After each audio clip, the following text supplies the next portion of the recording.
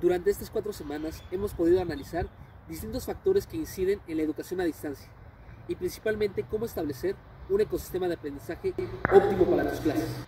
Hemos pasado de ver los factores como los distintos tipos de capital que existen. También hemos visto el ecosistema digital basado en el ambiente metafórico. Y también hemos visto la importancia del trato humano que tiene la educación a distancia para poder funcionar. De mi parte, es todo.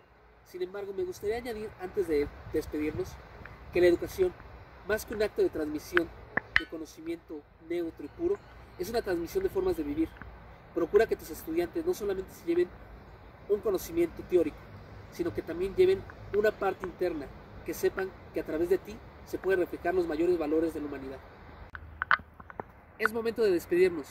Espero que el desarrollo de tus clases sea lo mejor para tus estudiantes y también para ti.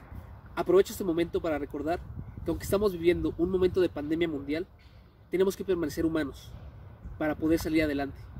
Transmite esa humanidad a tus alumnos.